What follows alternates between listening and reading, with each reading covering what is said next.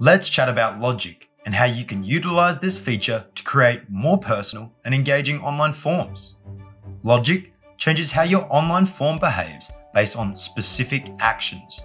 It allows you to dynamically customize the form experience for your submitter. Paperform gives you the power when it comes to adding logic to your forms. You can show and hide questions, content, and even entire pages with easy to define logic rules. The exact same kind of logic can be used to control whether an email sends on submission, a particular success page is displayed, a specific redirect occurs, or if a direct integration should be triggered. You also have the ability to attribute actions and values to your answers. Scoring allows us to determine a score for the submission, while custom pricing rules will allow us to determine and modify the total price for the form submission. To set up logic, all we have to do is to define specific rules. Easy, right? So let's take a look. In this particular form example, I would like to control when my question, what is your partner's name, becomes visible. I would only like it to be visible if my submitter responds to my question, what is your current relationship status with either partnered or married? To do this, we'll first enter the configuration of our question. We do this by clicking on the gear icon that appears on the right hand side. Once open, we'll click to toggle on question visibility logic. Now, let's set up the logic rules. These rules will define when this question field becomes visible. What is your current relationship status is partnered or what is your current relationship status is married? If I was to select and rather than or, then the submitter must respond with both partner and married for this field to become visible. Let's take a look at configuring conditional logic on breaks. Breaks are used to divide the content of a form into pages or sections. And much like we can set up conditional logic on questions, we can set up conditional logic on breaks. To do so, we follow a process that is extremely similar. In this form example, I'm asking my submitters which event they will be joining, either the little fun run, the big fun run, or the color run.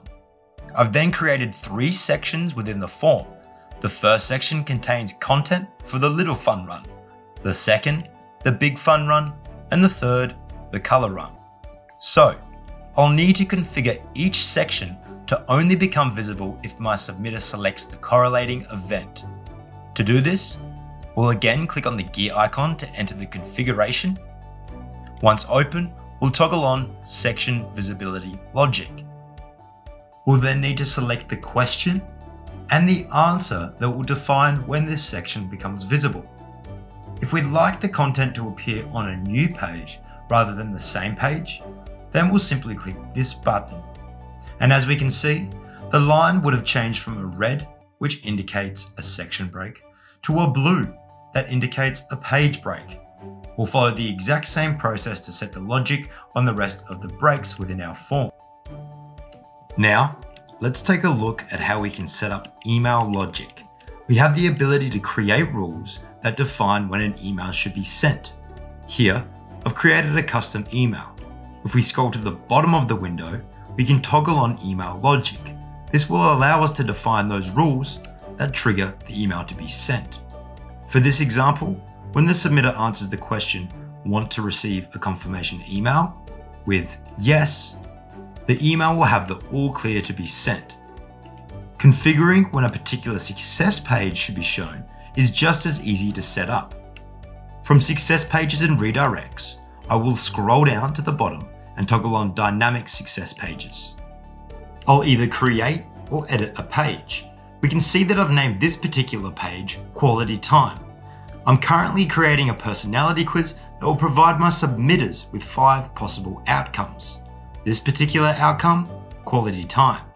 So I want the success page to only become visible to the submitter if they receive the quality time personality outcome. I will toggle on page has conditions when it should be used, and then I will select the question that defines when this success page should be visible. which, for this example, is my love language calculation field. The rule now defines that when my calculation field is equal to quality time, the success page will become visible. Easy, right? Well, the process is exactly the same when we would like to set up a conditional redirect. Here, I've created another dynamic success page. I've included my website's URL as the redirect link, and I've set the redirect to occur after two seconds. To set up a conditional redirect, I would toggle on page has conditions when used, then define those conditions by selecting a question, for example, ready, and an answer, yes. When the submitter answers ready with yes, this success page will be viewed and the redirect will occur. We can also set up conditional logic to trigger an integration. We can see here that I am currently setting up an integration between my MailChimp and my Paperform. I'm adding a subscriber to a list. However, my form asks my submitter to confirm they would like to sign up to my mailing list. To achieve this, scroll to the bottom of the integration setup and toggle on Use Conditional Logic. I will then select the defining question, happy to join our mailing list, and input the condition to reflect yes. Now, the integration will be triggered to occur when the submitter responds with yes.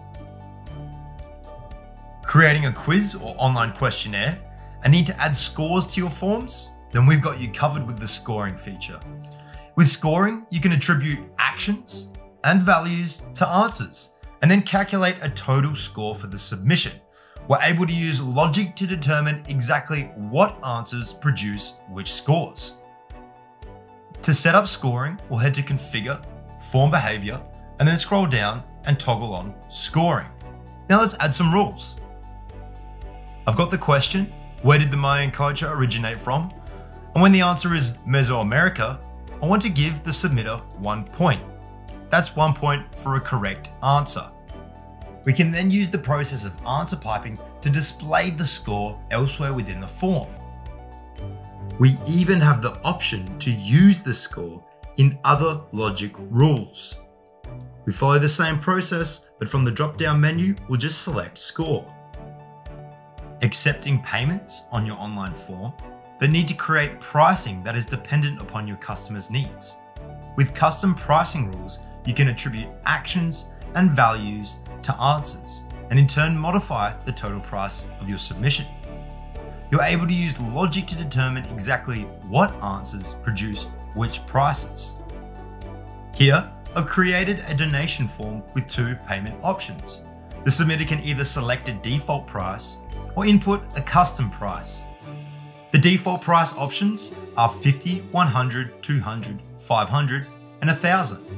I'm using a multiple choice field for this. So, if I want the form to determine a value for each of those options, I'll head to Configure, Payments, scroll down until I find Custom Pricing Rules and toggle this feature on.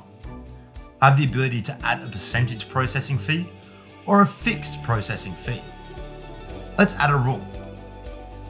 We'll choose the question that defines when the value should be determined. And for this, I want it to be the please select an amount that suits you question. When my submitter selects 50, then I want to add 50 to the total price of the form. I'll click add another rule and I'll follow the same process. When my submitter selects 100, then I'll add the value of 100 to my form. To learn more about Logic, make sure to check out the description below. And if this has been a helpful video, make sure you click the subscribe button and hit the thumbs up. Good luck and happy form making!